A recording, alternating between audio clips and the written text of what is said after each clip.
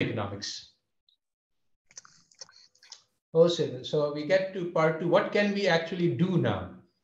So I have listed some of the obstacles, but uh, and and there are many which I have not listed.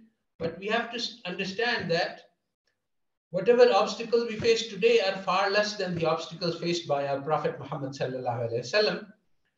He had a very very uh, his the hostile environment he faced was much worse than what we face today.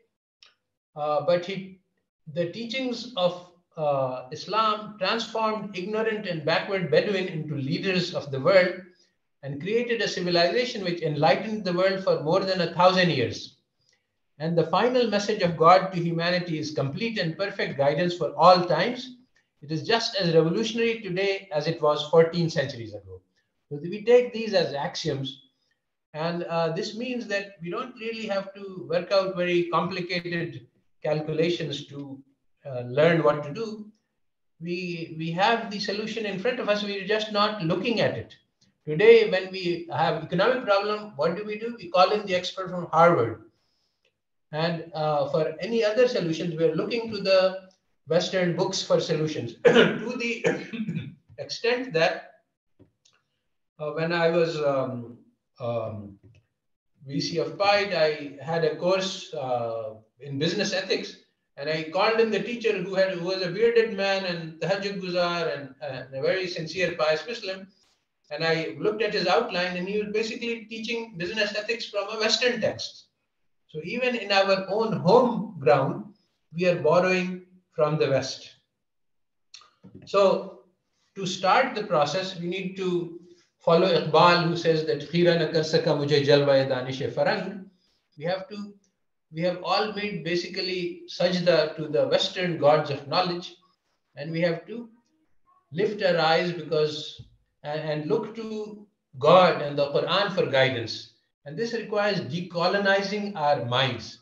What is decolonization? well, there are many signs, but the most basic thing is that the colonized mind believes that the most important knowledge that uh, exists today was produced by the West over the past three centuries physics, chemistry, biology, political science, economics, mathematics. And this colonization is automatically created by Western education. Why? You study for four years in a university, and these are all the things that you, you learn. You never learn about the Quran or the Hadith or anything. And in fact, you see that these Quran and Hadith are irrelevant to uh, the knowledge that is useful today. so, automatically anybody who gets a bachelor's or even high school uh, in uh, Western education, which is everywhere in the Islamic world, you end up with the automatic idea that knowledge is produced by the West and that the Quran and Hadith are irrelevant for the modern world. So part of this knowledge is also economic knowledge. It tells us how to conduct our economic affairs. So if we want to rebut this, we want to break the spell of Western knowledge, we have to start with the fundamentals and ask, what is the goal of our lives? Now, you will not find an answer to this in the stock of Western knowledge. If you look at economics textbook, uh, they say that the goal of our life is to maximize pleasure in this life. Why? Because we've seen that the after you reject God, judgment, afterlife, then this is the natural conclusion. But Islam teaches us that Real success is on the day of judgment. So economic theory tells us that society should try to maximize wealth uh, because that's uh, dunya. But Islam tells us that the life of this world is pursuit of an illusion. And Allah Ta'ala created us to see who can do the best of deeds in adverse circumstances. So the fact that the another uh, another issue is that economic theory is outcome oriented. It says that if you eat something, then you get pleasure. Uh, the struggle doesn't matter. But Allah Ta'ala says this dunya is meant only for struggle. The rewards are in the akhirah. So uh, the fact that the circumstances are adverse is not of serious concern to us because we are here only to struggle and to show Allah Ta'ala what we can do. The outcomes, the rewards are waiting for us in the akhirah. So we start uh, the process of change by setting our internal goals to spiritual progress instead of uh, instead of making money. So many Muslim students come to me and ask for advice on which career should I choose, which uh, path, what, what should I study, economics, computer science, etc., etc., to make the most amount of money. Uh, so they have already been indoctrinated into believing that the purpose of life is to make money. So the purpose of life is really that we are given nafse amara, and in fact, nafse amara is an exact description of the Homo economics, uh, Homo economicus, which is the goal, which, which is the rational human being of economic theory. So our goal is to go from nafse amara to nafse lawama to nafse mutmainna. And uh, discussion of how this works is given in my paper. So this is actually what we call the work of the night because we also have external goals. External goals are again uh, economic theory and social science mindset tells us that the social society is governed by the government. So we must look to the government if we want to go beyond the individual. Basically, this is one of the things which happened in a secular society because they were always fighting each other. So they said that common action can only be done by the government. This has not been the case in Islamic societies. In Islamic societies, the driver of change is the community. And so our um, goal, our, our, our uh, target for action is the communities, the local community. it's the family, the, our kinfolks, our neighborhoods. Values are taught at the mother's lap within families and within the uh, larger circle of extended family and within neighborhood communities. Strong families are central to the development of individuals and communities. And today, the worship of nafs, which is being promoted all over the world by Hollywood and by social media, this is very damaging to love, commitment, sacrifice, and responsibility, which is at the heart of the family. And we need to actively counter this because this poison is being spilling into Islamic societies and it's having effects, and you can see it all around you. So now there is, I've said that there's the um, effort on our individual self, and then there's the effort on the community. And um, uh, sometimes people get the mistaken idea that one should go and sit in a cave for uh, 40 days and then um, you can come out and uh, work on the community. So if you work personally on um, become becoming a saint, then uh, this will never happen, and so you will never be in the position to actually make change. So Islam actually does not teach us monasticism, and this is a unique feature that we work on our soul by struggling to change the community. Uh, the efforts of the night are complementary to the efforts of the day. The two go together.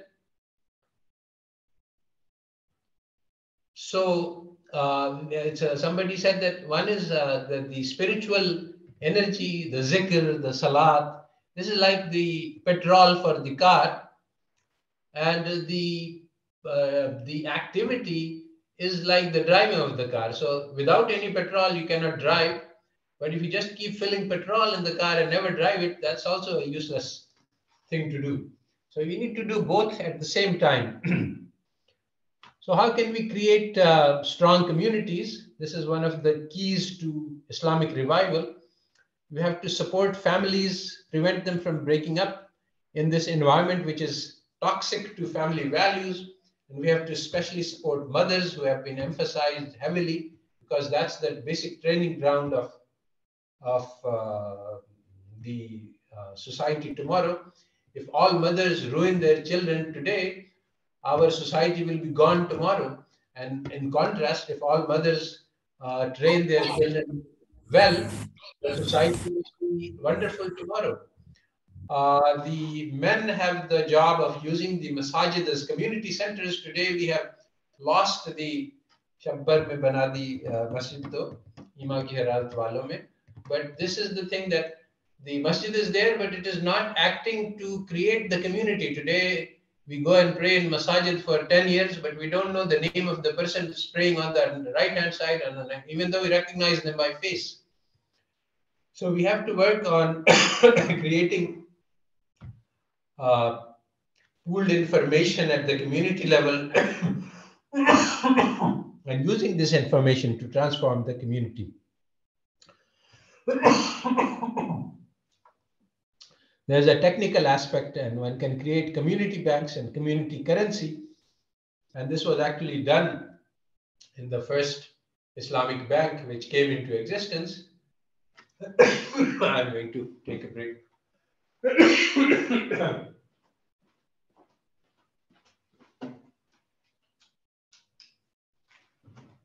Well, we have a short break. Please do uh, note down your questions so that uh, we can uh, address them.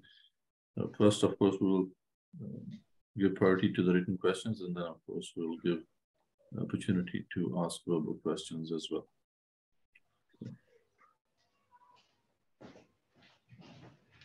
All right, so I needed some water. Uh, so uh, the community banks uh, are things that can be created without government intervention. So basically, one of the things that I'm saying is that people, because of the secular mindset, the people are thinking that first we need to capture the government, then we can do anything. This is not true. There are many opportunities open to us at local levels. uh, the and and uh, one of the things is that the concept of nation was invented in Europe after the dissolution of the concept of a united society.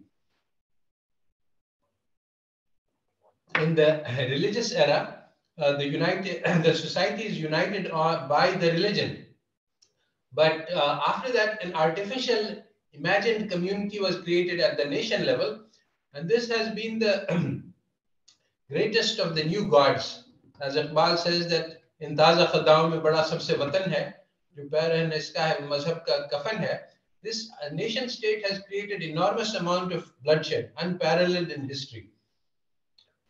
So instead of looking to the nation to change, uh, uh, to transform the world, and, and instead of seeking to capture uh, national government in order to bring about islamic change we have to work with communities and create change at the community level so we come to part three of this talk, uh, which is state level interventions, which is exactly contrary to what I have said, uh, that uh, we don't need to worry about the nation state. Uh, but as any